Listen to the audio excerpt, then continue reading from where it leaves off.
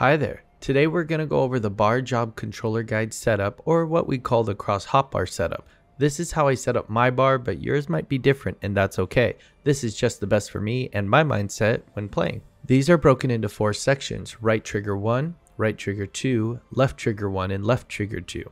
Every DPS is different and each setup reflects that, except for the one tried and true rule which I keep, which is single target is mostly on the right side and AoE is mostly on the left side. These controller guides are perfectly set up for all content from 1 to 9 and you'll never have to move an ability when you sync down. Right trigger 1 letters are Burst Shot, Refulgent Arrow, Blood Letter, and Empyreal Arrow. These are the bread and butter of Bard and you'll be pushing these buttons a lot. The goal of this setup is to basically be spending most of your time on that right trigger one letters, the most while throwing in your other OGCDs and songs. I will talk about the floating hotbar at the end that is special to Bard specifically. Right trigger one D-pad is Raging Strikes, Pitch Perfect, Caustic Bite, and Storm Bite. Raging Strikes is used on cooldown but is very long and only here because it's right in the beginning of our opener. If you are wondering how I have Pitch Perfect on my bar, that is because I had this set up before the updated patch. So you will just put Wanderer's Minuet here which will turn into Pitch Perfect.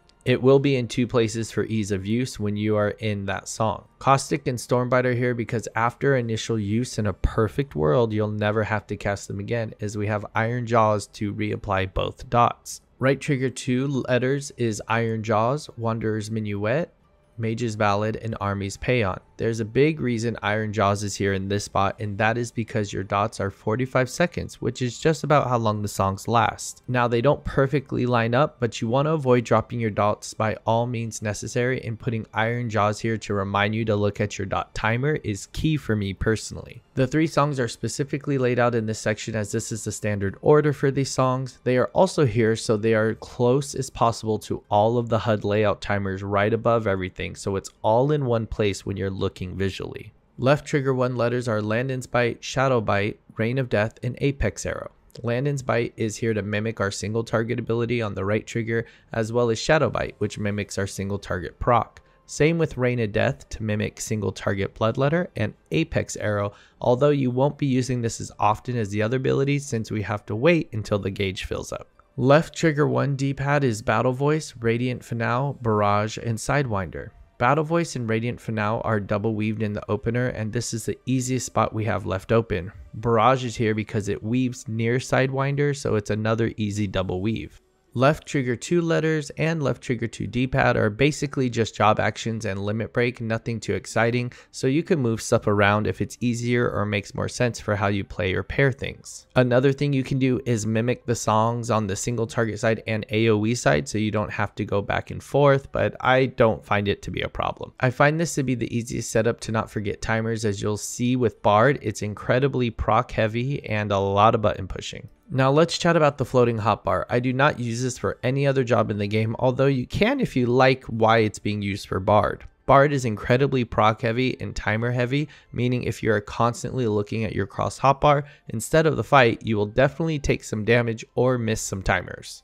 To remedy this, I have created a floating semi-transparent hotbar with all the important abilities to see when they're on cooldown. This then becomes muscle memory in which button to push when they are showing cooldowns. This is the only way I can keep my DPS up as Bard as high as possible. This does not mean I don't look at my cross hotbar from time to time, but I try to spend most of my time looking at the fight and the floating hotbar.